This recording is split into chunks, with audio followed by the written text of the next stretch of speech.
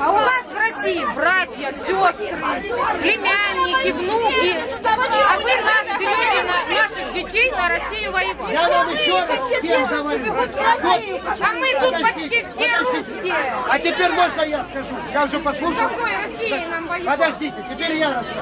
Россия нам войну Подождите, вы захотели слушать, слушайте, нет, я уйду сейчас. Значит,